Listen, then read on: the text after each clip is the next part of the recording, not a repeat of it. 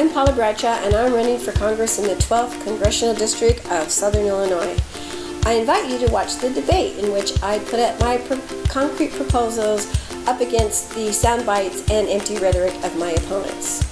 Electing the right person to Congress is especially important in 2016. We need someone who will stand against the presidential war making that has led to skyrocketing debt, domestic austerity, and has brought death and misery to millions of people in the Middle East, Africa, and elsewhere. If either Hillary Clinton or Donald Trump is elected president, we will need to have a Congress that's ready to assert itself against the proven warmongering of the one or the wild unpredictability of the other. I'm the only candidate in this race who has called for ending our nation's disastrous and illegal acts of war and illegal assassinations overseas and also cutting military spending and reallocating funds to meet our needs here at home.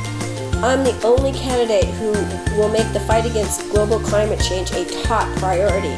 My uh, two opponents are peddling the delusion that our regional economy can be still be based on the dying coal industry. I support the ca carbon fee and dividend system proposed by the Citizens Climate Lobby. I am an uncompromising defender of our air, water, and soil which is the foundation of life on our planet. I'm the only candidate who supports a ban on fracking and other extreme forms of fossil, fossil fuel extraction, and into subsidies for fossil fuels, and a Green New Deal to put millions of Americans to work at a living wage or better, modernizing our infrastructure, imp improving energy efficiency, expanding renewable energy, and building sustainable transportation. And yes, the Green New Deal includes a plan to pay for it that would not involve tax increases on American workers.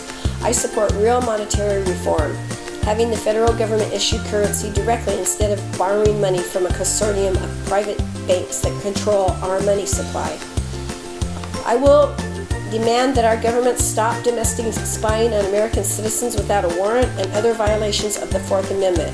I would vote to repeal the Patriot Act, the Military Commissions Act, indefinite detention without habeas corpus, and other attacks on our civil liberties. I support criminal justice reform, demilitarizing the police and using our federal government to put an end to senseless poverty and institutional racism once and for all.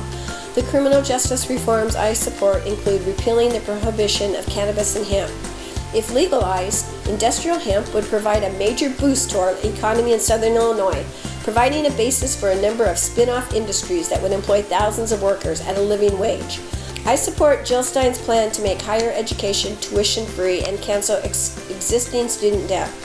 And I fully support a completely public healthcare system to cover every American.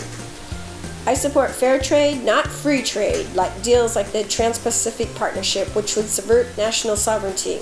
I would vote to repeal NAFTA and other free trade deals that have harmed American workers and workers in other countries. When they take polls, they find that most Americans support measures like this. It is time to elect someone to Congress who will represent the people, not the interests of a small class of corporate and bank owners. If you agree, please vote for me on November 8th.